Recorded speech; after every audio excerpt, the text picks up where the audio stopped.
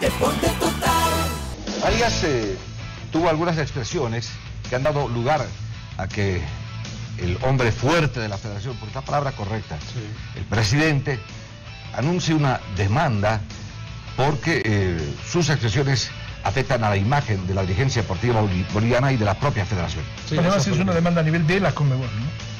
No sé si la Comebol se mete en estos bailes, Eh, por lo menos eso es lo que ha dicho el presidente. pero Alfredo Arias ha querido referirse al tema de manera puntual, casi una respuesta al presidente de la Federación del Fútbol de Bolivia.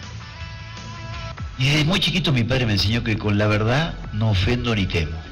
El espíritu y la intención mía, si no se entendió, lo vuelvo a decir ahora para que quede claro, nunca fue ofender a nadie. Nunca fue, creo que han utilizado la palabra denigrar. Yo la fui, la busqué en el diccionario a ver si estaba bien. En ningún momento yo denigré a, a nadie. Sí fue la de tratar de mejorar. La de tratar de que estas cosas no vuelvan a ocurrir. Hay palabras que se están diciendo que yo no usé, pero